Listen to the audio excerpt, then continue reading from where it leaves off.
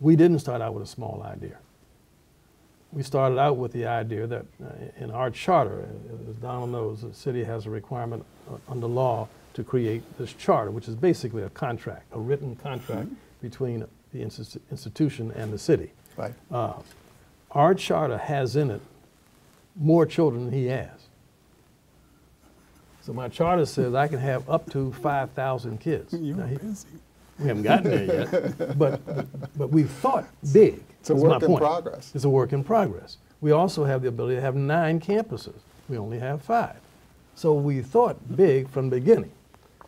Now, having said that, there is a reality that, sets, that does set in. And uh, one of the other things, one of my guiding principles early on in the game was that you got to be always have this is a business proposition. You always have to have a pay for. You got to be able to pay for it. Right. And having gone through the experience of the Urban Family Institute, where you had to raise monies on a regular basis to survive, I never wanted to get in that situation where if I didn't raise X number of dollars, the children would be impacted. So I said early on, we will not raise money. We'll operate 100% within the framework of what we get through our per pupil applications and other federal and state dollars.